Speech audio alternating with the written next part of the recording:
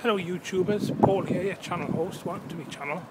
Um, now just uh, came from, it's 25 past 9, um, about half an hour ago the crew for electricity wrapped from, for tonight.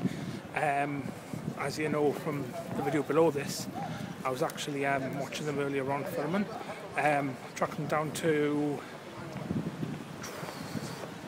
Melbourne Street in the town thanks to Gav and Ian if you're watching for letting us know where they were filming.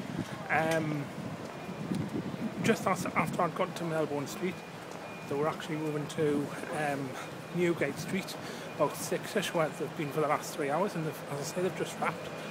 Um, it's a film called Electricity, and yep. Um, so um, I'm home now to have me tea from Tesco. Anyway, see you later, YouTubers.